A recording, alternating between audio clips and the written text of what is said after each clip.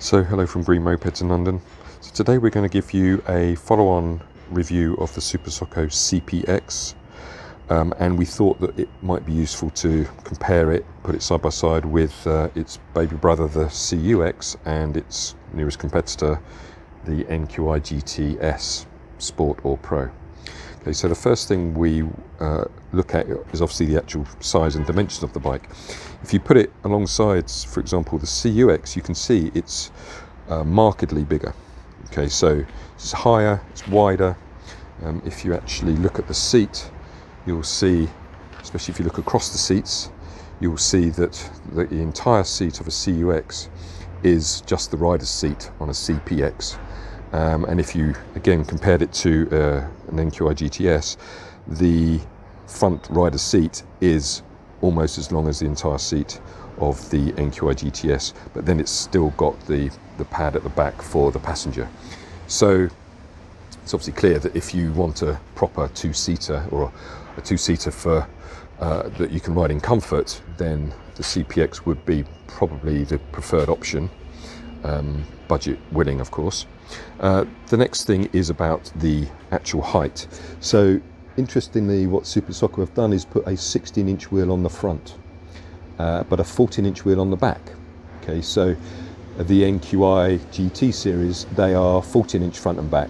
So again, uh, bigger wheels often are regarded as being more stable. So um, obviously if you had bigger wheels front and back, you'd get more range out of the same speed. So um, that's I guess why they've chosen it. As to why they haven't put the same size wheels on front and back is probably because of the way the bike is designed at the back for that uh, rear passenger and the rear rack. But anyway, um, as you can see, it's got ventilated discs. It's also got uh, CBS, so combined braking. There's two leads going in and out of the front caliper, which means that when you press the pull the brake lever, you're going to get some of the power sent to the back and some to the front.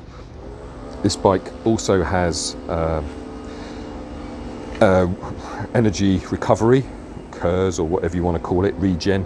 So it's trying to recoup some of that energy when you do brake. Um, not unique, all these other bikes have them too, but it is included. Um, around the back of the bike, you'll see one of the other interesting features around the CPX is that it doesn't have a swing arm on both sides. Uh, they're making a point about this in as much as it means that you can obviously change the wheel or the tyre very easily and quickly. Um, when you have a hub motor with a cable going into it, it does make it a little bit more complicated to change tyres and what have you. So um, that's one of the reasons they've done it. One of the other things to highlight is obviously this gap that you're now getting on the NQI GTs and this gap that you're getting on the CPX, which might enable you to get uh, some sort of security device through the gap. Okay, but I wouldn't um, particularly uh, use that as your only option. Okay. So this motor is four kilowatts, and on the Bosch motor over there, it's three kilowatts. So that obviously means more power and then more speed. So the speed of the uh, NQI GTS is 47 and the quoted speed on this bike is 56. But you'll see uh, when we actually fire it up, uh, because it's on its stand, we can actually do a uh, speed test. It says a lot more than that, but that's obviously without any load. Okay. So four kilowatts, 56 miles an hour, Okay, so under the seat, um, as you saw there, there's a one of the batteries. That's a 60 volt, 45 amp hour battery. Okay, um, you get this sort of cover so that if you did have both batteries, you still might have some space for phone or maybe a disc lock. Um, but underneath here, you've got um, obviously quite a big uh, storage space if you didn't have the second battery. Um, still wouldn't take a helmet, unfortunately, but you would get pretty much everything else you might need into that um, space. Uh, these are now they've upgraded these cables. These are sort of TC Max cables, um, including the clip on the top of the battery, which is also something they've lifted off of the TC Max. So they're sort of really beefing up their uh, their cables because of the charge. Okay, so that's that. Um, what they've also done is they've connected it up to a supercharger. Okay, so uh, this is the charger here. As you can see, it is 15 amp, and as we've said before, what that enables you to do is the more you have, uh, the more amps you have going into your battery, the uh, quicker the time. And so the charging time of this bike with one battery is three and a half, four hours, something like that. So it is, you know, pretty rapid. Um, obviously, if you add a second battery, then that changes. But with one battery, which will give you 40 miles of range, you will get three and a half hours to fully charge it. Okay, so it's uh, quite a, an interesting bike in as much as you know it's got all of the standard sort of Super Soco things on it now. So it's got an app like um, NIU uh, and all Super Soco bikes.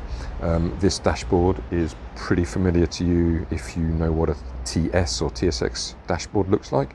Here you've obviously got your readout of your battery. Um, if you had a second battery, that would appear here. Um, and then trip, total range, uh, total mileage, what have you. And what they've actually done is they've changed the way uh, that what this button used to do. So what this button used to do was enable the uh, actual throttle. Okay, now they've put it on here. Okay, so off and on. Okay, so when that is up, throttle is dead. When that is down, throttle is active. Note the speed that it's saying it's getting to. Okay, that isn't the speed you're going to get because uh, that is obviously without any load on it. We did the same thing on an NGT, we would also see more than 47. Okay, but you've got your, your standard sort of modes that you're used to on, an, uh, um, on every other Super Soco bike. And this button here is now actually a reverse. Okay, so it's, it's to enable you to back up the bike uh, because it, they say, well, on bigger bikes it's, it's fairly standard. Uh, ECCity do it, uh, the Vespa Electrica do it, and now this bike. Um, wouldn't be a deciding factor for me on buying this bike or not, but it is something that uh, will enable you to move the bike around more easily. Okay, then you've got sort of standard things. So you've got a bag hook, little cubby hole, uh, USB port as you'd expect. Um, here you've got your brake uh, fluid chambers and what you can actually do. You know, if you wanted to service a bike yourself, you see here it says you need dot three or dot four oil, which you can get from places like Halfords or what have you. You take that off, top it up, and then you're good to go. Okay, and then on this side you've got standard stuff, indicators. Unfortunately, silent still, and then obviously main beam, what have you. Okay, so uh, it, as I said, it does have the app, so you can track this bike and also check it. Okay, so if someone does ride off with you, off with it, um, you can obviously uh, track where they've taken it to. Um, in terms of colours, this is actually the uh, silver and it's sort of denoted by this little flash on the mudguard. There's also black, which is there, so that's the black one. Um, and there's also grey, which comes with a uh, yellow stripe. Okay, um, this is on the grant as you'd expect, and the price is 3599 thereabouts. Um, and it does compare pretty close to an NQI GT S Pro, not the NQI GTS Sport. The NQI GTS Sport is just under 3000 but the NQI GTS Pro with the Panasonic batteries is um, the same price as this. Uh, just one final thing on the batteries. These batteries are the same make as on the TC Max. So it's a Chinese brand, not Panasonic. Okay, so um, I hope I've covered everything and obviously if you have any questions or want to test ride then uh, happy to accommodate you and uh, thanks very much.